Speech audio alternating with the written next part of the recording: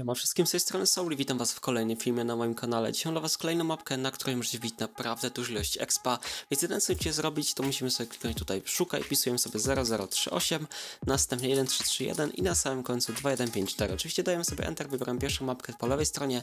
Pamiętajcie, żeby tutaj było XP, dajemy sobie wybierz. Pamiętajcie także, żeby gra była tutaj prywatna, dajemy sobie grę, szybko wchodzimy do sklepu i wpisujemy kod Soul. Jeżeli to zrobiliście, naprawdę bardzo wam dziękuję i teraz po prostu czekamy, aż was załaduje na mapkę.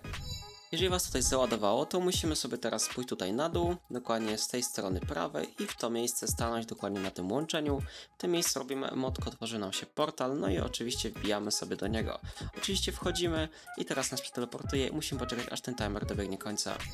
Jeżeli czas tutaj się skończy, to musimy sobie wpisać kod 5711.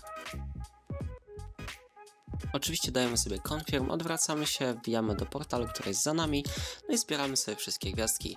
Także życzę Wam miłego spienia, no i widzimy się już jutro w kolejnym filmie o godzinie 15 oraz dzisiaj w shortsie o godzinie 19. Siemanko!